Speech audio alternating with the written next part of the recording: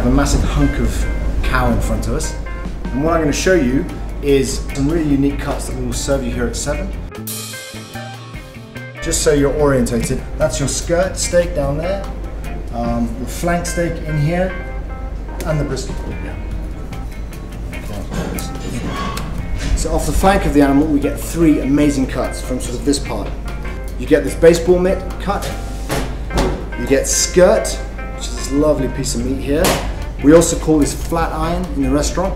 Um, delicious grilled, it's a great barbecue and cut of meat.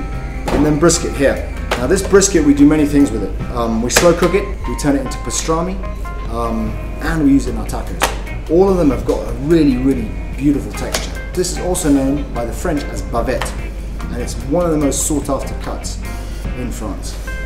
There you go. So those are three awesome cuts you get from the side of the animal, but ordinarily you wouldn't find. And all you have to do is come here,